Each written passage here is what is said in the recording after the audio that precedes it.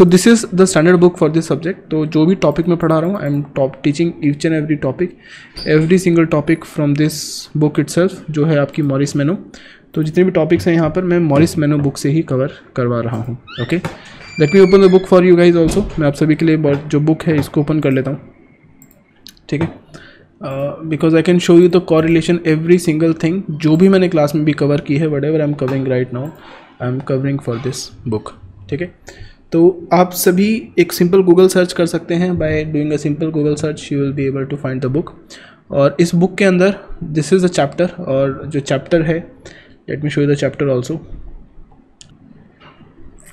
so this is the chapter number five तो जो हमारा चैप्टर नंबर फाइव है this is basic computer organisation and design तो ये मैं यहाँ से कवर कर रहा हूँ basic computer organisation and design तो यहाँ पर आप जाएँगे this is page number one twenty three ठीक है? और उसके बाद फिर हमारा बेसिक कंप्यूटर ऑर्गेनाइजेशन डिज़ाइन के बाद we have micro programmed control unit even your addressing address formats जो सेंट्रल प्रोसेसिंग यूनिट है chapter number eight that is chapter number eight is about your instruction formats जो addressing modes हैं, वो chapter number eight में यहाँ पर आते हैं so am referring directly from this book it तो इस बुक के अंदर let me open the chapter also मैं इस बुक का जो चैप्टर है, हमारे पास ये चैप्टर ओपन कर लेता हूँ, ताकि आपको एग्जैक्ट को रिलेशन एग्जैक्ट सेम डायग्राम्स में यहाँ पर दिखा सकूँ।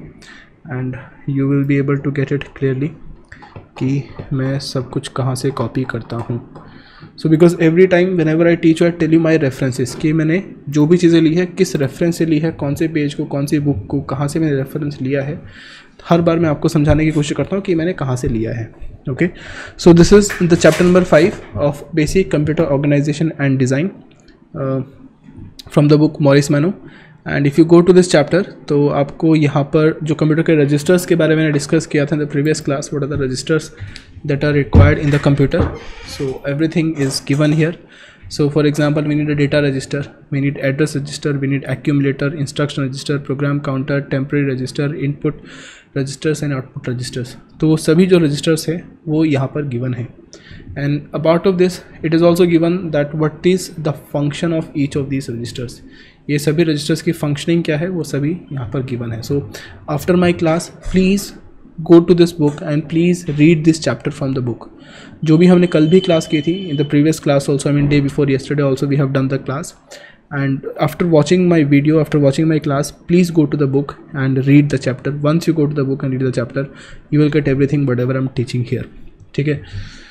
प्लस दिस डायग्राम तो ये जो डायग्राम है in the previous class I have told you the basic components of this diagram but again आज इस डायग्राम को मैं फिर से एक्सप्लेन करूँगा. I am going to explain the components of this diagram and after explaining please read this theory ये जो पूरी थ्योरी है इसको आपको स्टडी करना है. And then we have computer instructions कौन कौन से इंस्ट्रक्शंस हम लोग इस सी uh, के लिए बना सकते हैं?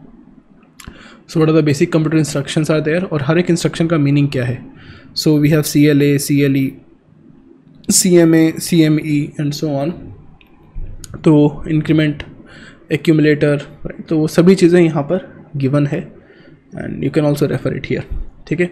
और the next topic is instruction set completeness also you can also refer और जो आपका टाइमिंग एंड कंट्रोल डायग्राम है that is the you know designing of control unit कि हम लोग कंट्रोल यूनिट को कैसे डिज़ाइन कर सकते हैं there is also given here and this control timing signals तो ये सभी जो कंट्रोल टाइमिंग सिग्नल्स हैं, वो सभी हम लोग यहाँ से कवर करेंगे. And this is the fetch phase जब इंस्ट्रक्शंस को एग्जीक्यूट करते हैं what are the phases while executing the instructions flow chart and everything is given here तो सब कुछ आप यहाँ से रेफर करेंगे. Okay understood but actually it is important मतलब I am not going to say कि ये इंपॉर्टेंट नहीं है.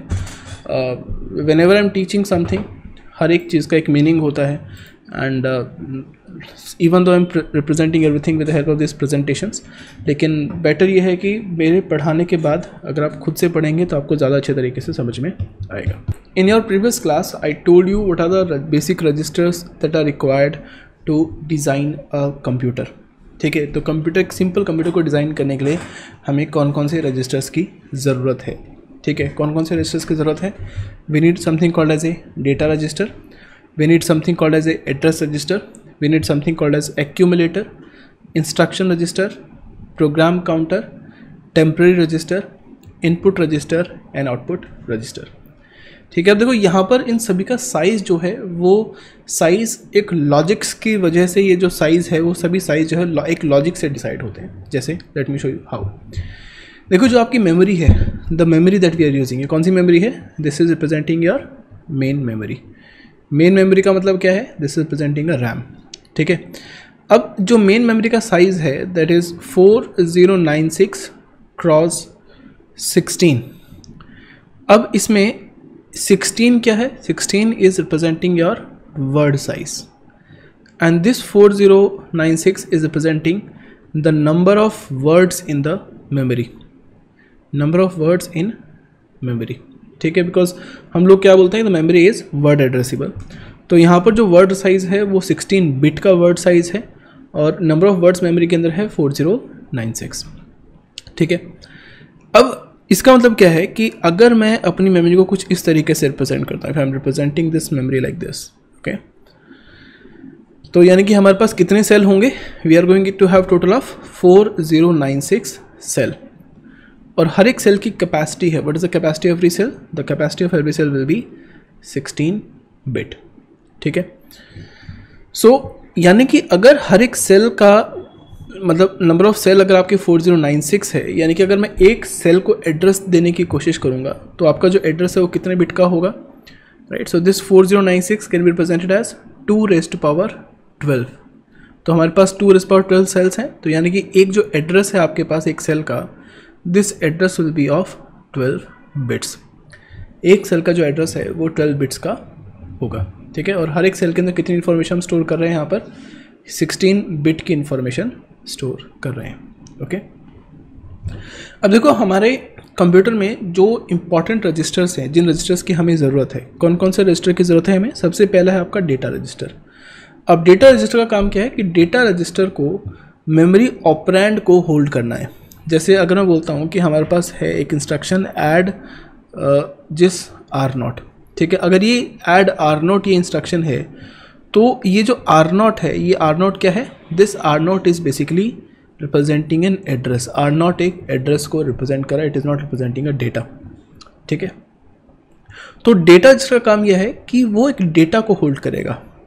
इंस्ट्रक्शन में हमारे पास हम एक इंस्ट्रक्शन में एड्रेस को पास करते हैं, लेकिन डेटा जिसका काम किया है कि डेटा को होल्ड करेगा।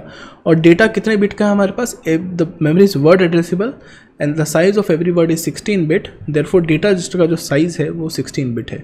Why it is sixteen bit because of this memory understood कि डेटा रजिस्टर का साइज़ कैसे डिसाइड हुआ?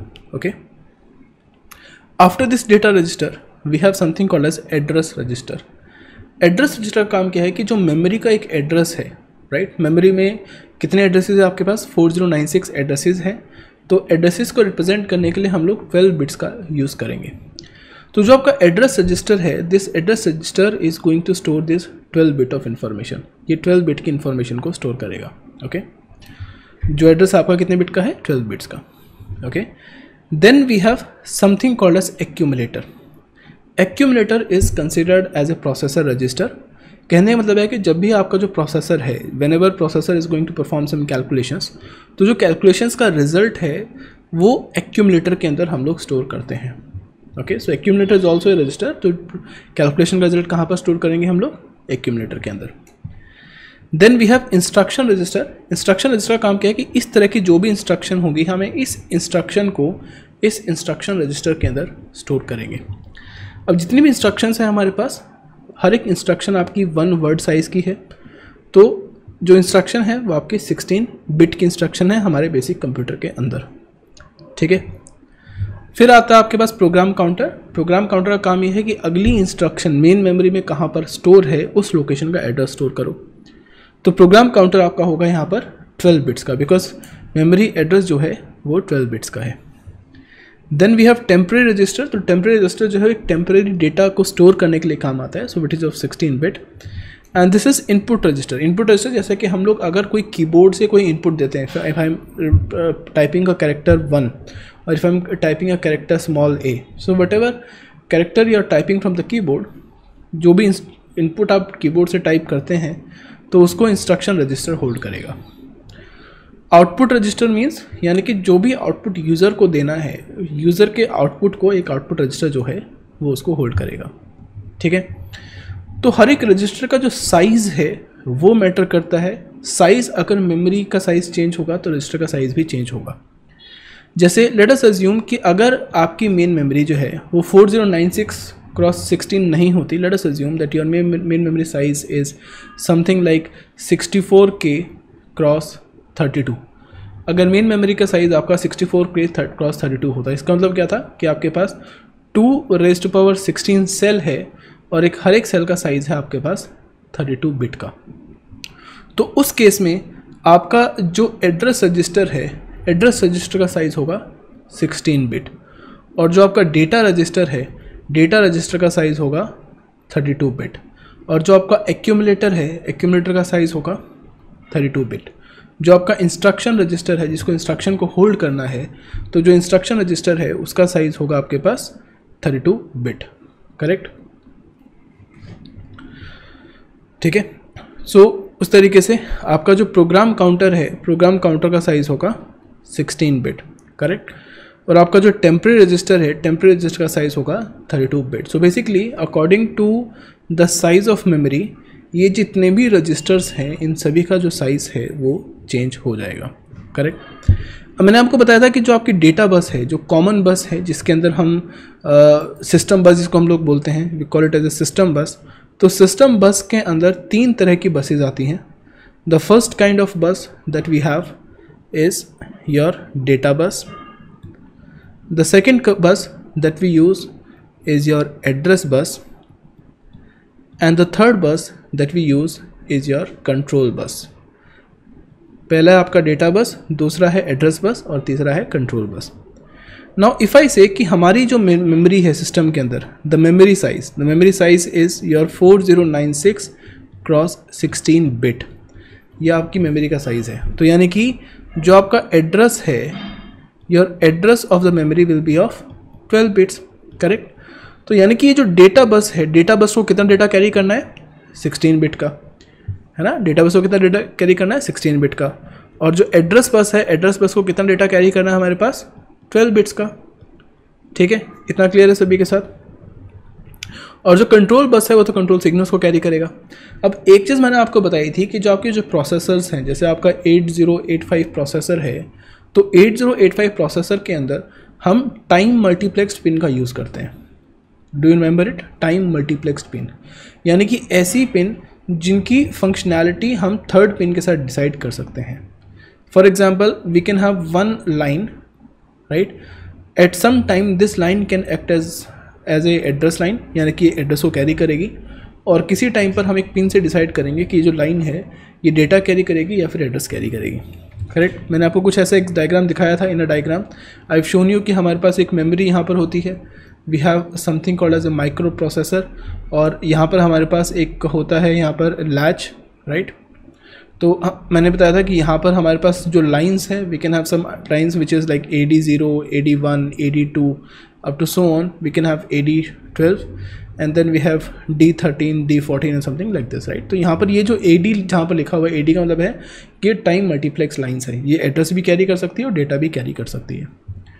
तो अगर हमारे पास memory four zero nine six cross sixteen bit की है तो उस केस में हमारे पास जो एड्रेस लाइन्स होंगी, कितनी एड्रेस लाइन होंगी? We need total of twelve address lines and how many data lines are needed data lines are sixteen यानी कि अगर आपके टाइम मल्टीप्लेक्स पिन है तो टाइम मल्टीप्लेक्स पिन से ट्वेल्व ऐसी लाइन्स होंगी जो कि डेटा और एड्रेस दोनों कैरी कर सकती हैं, और फोर ऐसी लाइन्स होंगी जो सिर्फ़ डेटा को कैरी करेगी। ठीक है, यानी कि जिस समय पर ये लाइंस जो है वो एड्रेस वो कैरी कर रही है, उस समय पर ये डेटा लाइंस के अंदर वैल्यू हम पास करेंगे ज़ीरो ठीक है?